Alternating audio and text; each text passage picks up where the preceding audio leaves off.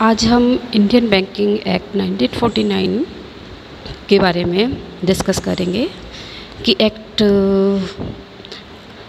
कब हमारे देश में लागू हुआ और इसके क्या क्या प्रावधान हैं, क्यों आवश्यकता इसकी पड़ी तो जानते हैं। तो सबसे पहले जानते हैं कि एक्ट की शुरुआत कैसे हुई। तो 1931 से पहले बैंकों को कंट्रोल करने की की दिशा में कोई विशेष कानून हमारे यहाँ नहीं था। और और ये कहें कि भारतीय विनिमय साध्य अधिनियम 18 एटीन वन थोड़े बहुत कंट्रोल के संदर्भ में, इस नियम में कोई व्यवस्था हमारे यहाँ नहीं थी। और अतः 1905 में जब बैंकों में बहुत संकट का समय था तो इनकी असमर्थता और दुर्लभता दुर्लभता ने यह सिद्ध किया कि कोई ना कोई ऐसा अधिनियम होना चाहिए जो बैंक के संदर्भ में हो।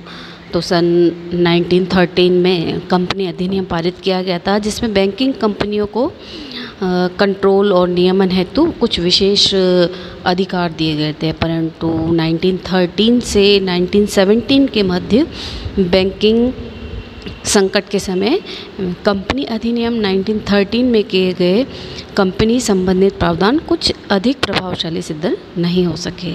अतः 1934 में रिज़र्व बैंक को, बैंकों के नियंत्रण हेतु रिज़र्व बैंक अधिनियम पारित किया गया। किंतु स्थिति में कोई विशेष परिवर्तन देखने को नहीं मिला।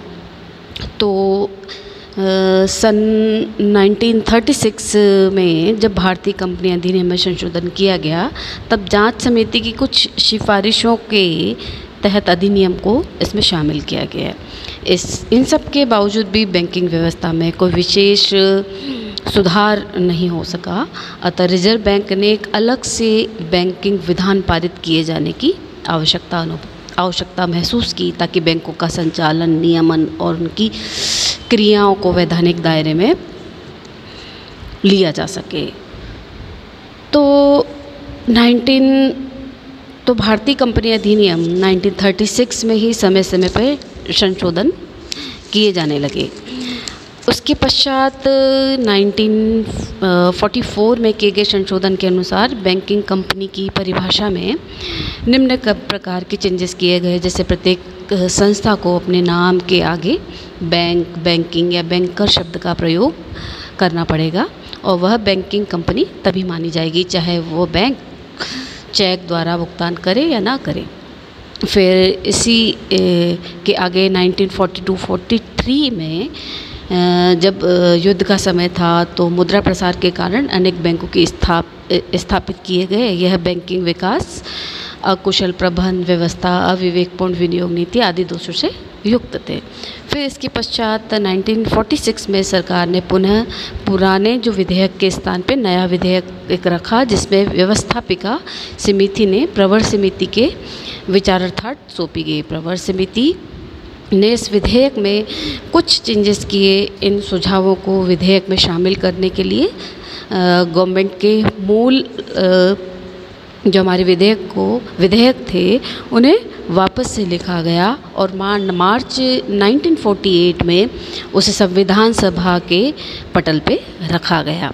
संविधान सभा में 17 जनवरी 1949 में इस विधेयक को पारित किया गया और 10 मार्च 1949 को इस पर तत्कालीन गवर्नर जनरल ने अपने सिग्नेचर किए और 16 मार्च 1949 को इसे बैंकिंग कंपनी अधिनियम के नाम से लागू किया गया। ये तो मैंने एक शॉर्ट इसकी हिस्ट्री बताई गई है कि किस तरह से ये नियम आया। अब जानते हैं कि क्या का ऐसे कारण थे कि बैंकिंग अधिनियम की आवश्यकता हमें पड़ी। तो इसके कई सारे रीज़न थे। इसमें से कुछ एक आध मैं रीज़न आपको बताना चाहूँगी।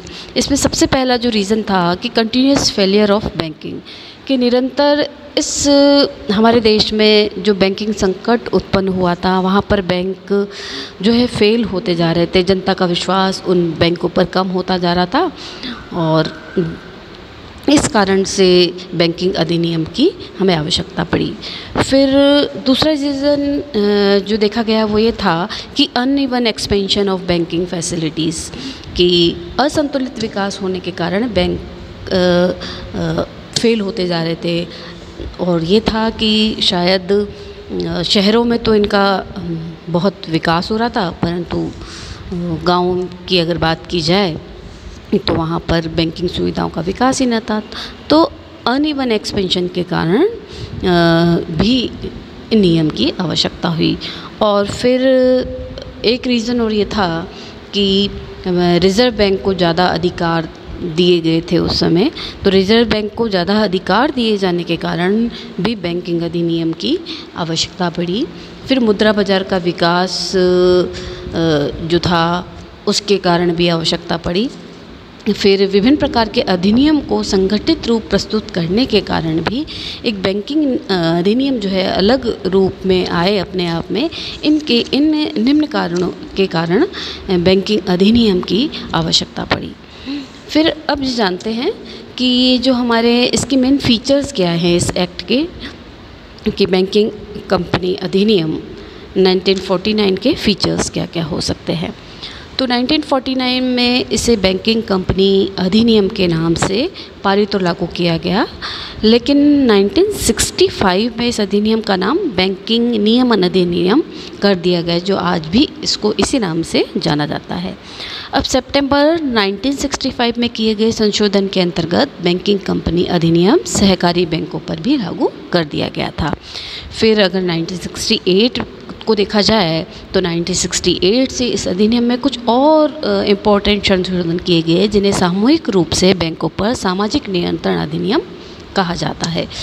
फिर 1969 में फोर्टीन बड़े बैंकों का राष्ट्रीयकरण किया गया और इसको वैधानिक मान्यता प्राप्त करने तथा राष्ट्रीयकृत बैंकों के सफल संचालन के उद्देश्य से बैंकिंग कंपनी अधिनियम 1917 पारित किया गया। फिर प्रारंभ में यह अधिनियम जम्मू कश्मीर में कार्यरत सभी बैंकों पर लागू नहीं होता था, किंतु नाइनटीन फिफ्टी सिक्स से यह देश के, देश में कार्यरत सभी बैंकों पर लागू कर दिया गया। फिर सेंट्रल गवर्नमेंट की आवश्यकता पड़ने पर रिज़र्व बैंक के लिखित आवेदन पर इस अधिनियम के समस्त प्रावधान या कुछ प्रावधानों की क्रियान्विति को अधिक से अधिक 60 डेज़ हेतु स्थगित इसको कर सकती है। फिर इस अधिनियम में कुल 56 धाराएँ हैं, पाँच तालिकाएँ हैं और एक परिशिष्ट है। कुल धाराओं में से प्रथम 55 धाराएँ व्यापारिक बैंक पर और अंतिम धारा है वह सहकारी बैंक पर लागू होती है और इस अधिनियम को पाँच भागों में बांटा गया है। तो भारतीय कंपनी अधिनियम को बैंकिंग संस्थाओं से संबंधित धारा, धाराएँ जिन्हें बैंकिंग अधिनियम में शामिल नहीं किया है बैंकिंग संस्थाओं पर लागू है। जैसे कोई भी कंपनी या साझे, साझेदारी जिसमें 10 से अधिक व्यक्ति शामिल हैं, कंपनी अधिनियम 1956 की धारा फोर वन के अकॉर्डिंग बैंकिंग व्यवसाय के संचालन के लिए संगठित नहीं की जा सकती, जब तक कि वह सार्वजनिक कंपनी के रूप में रजिस्टर्ड ना हो। तो ये तो बताया कि इस इस एक्ट की क्या क्या मेन फीचर्स हैं। फिर इसी एक्ट के अकॉर्डिंग कुछ डेफिनेशन दी गई हैं तो बैंकिंग कंपनी की क्या क्या डेफिनेशन होती हैं। तो इसमें अलग अलग धाराओं के अकॉर्डिंग अलग अलग डेफिनेशन दी गई है। तो मैं दो तीन आपको बता देती हूँ। तो सबसे पहले तो धारा पर आते हैं कि फाइव बी और फाइव सी को देखते हैं ना? तो सबसे पहले फाइव बी को देखते हैं। फाइव बी और सी को। बैंकिंग अधिनियम की धारा फाइव सी के अकॉर्डिंग एक बैंकिंग कंपनी वह है जो भारत में बैंकिंग व्यवसाय करे।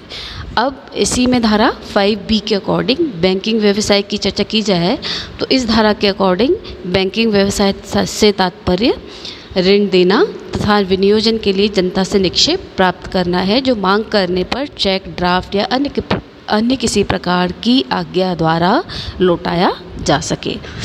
अब इसी में एक धारा और आती है, धारा सेवन के अकॉर्डिंग ऐसी कंपनी को जो बैंकिंग व्यवसाय करती हो, अपने नाम के साथ बैंक बैंकर या बैंकिंग शब्द का प्रयोग करना अनिवार्य है, अन्यथा यह बैंकिंग व्यवसाय नहीं कर सकती है।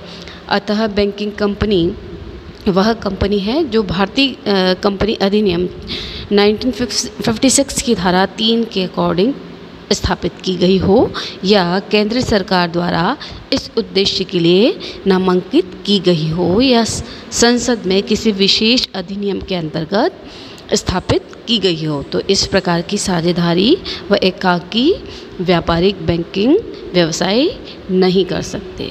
तो ये तो हुई कुछ डेफिनेशन जो धाराओं के अनुसार थी।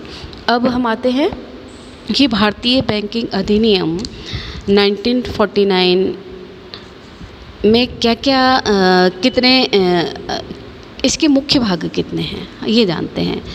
तो इसके मुख्य भाग में सबसे पहला भाग है उसमें आती है प्रारंभिक धाराएँ जो कि एक से लेके वन से लेके फाइव ए तक है। फिर इसके सेकेंडरी भाग में आता है बैंकिंग कंपनी का व्यवसाय जो कि धारा सिक्स से लेकर थर्टी सिक्स ए तक आती हैं।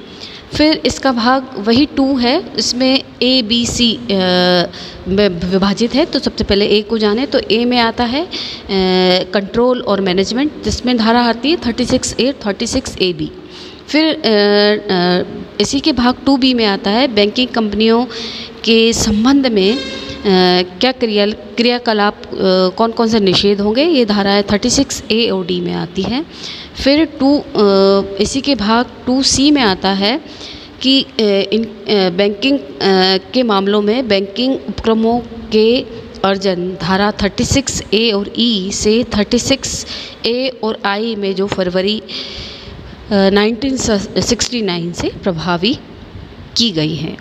फिर इसका भाग तीन आता है तो इसके भाग थर्ड में बैंकिंग कंपनियों के व्यवसाय का निलंबन और परि समापन धारा 36 से लेकर 45 तक आता है। फिर इसके भाग थ्री ए में परिसीमन, परिसी, परिसमापन, सॉरी, परिसमापन कार्यवाही को शीघ्रता से निपटाने के लिए विशेष प्रबंध की धारा 45 ए से लेके 45 एक्स तक के बीच में आते हैं और इसी के भाग चार में बहुत सारी धाराएँ आती हैं, जैसे 46 से लेके 55 तक और इसके भाग पाँच में सहकारी बैंकों पर लागू मुख्य उपबंध या धारा छप्पन में आते हैं ये। फिर धारा सात के अनुसार ऐसी कंपनी जो बैंकिंग व्यवसाय करती हो, अपने नाम के साथ बैंक, बैंकर या बैंकिंग शब्द का प्रयोग करना अनिवार्य है। अन्यथा वह बैंकिंग व्यवसाय नहीं कर सकती। अतः बैंकिंग कंपनी वह कंपनी है जो भारतीय कंपनी अधिनियम 1956 की धारा तीन के अकॉर्डिंग स्थापित की गई हो और केंद्रीय सरकार द्वारा इस उद्देश्य के लिए नामांकित की गई हो या संसद के किसी विशेष अधिनियम के अंतर्गत स्थापित की गई हो। इस प्रकार साझेदारी व एकांकी बैंकिंग व्यापारिक बैंकिंग व्यवसाय नहीं कर सकते हैं। तो ये तो मैंने आपको बताया है कि क्या अधिनियम था ये, इसकी क्या विशेषताएँ थी, इसकी आवश्यकताएँ क्यों पड़ी और इस इस अधिनियम के कितने पार्ट थे, है ना?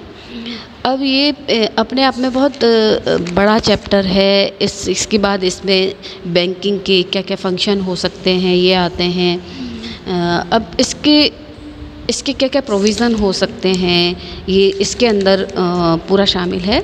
तो इसके प्रोविज़न्स को नेक्स्ट लेक्चर में हम देखेंगे।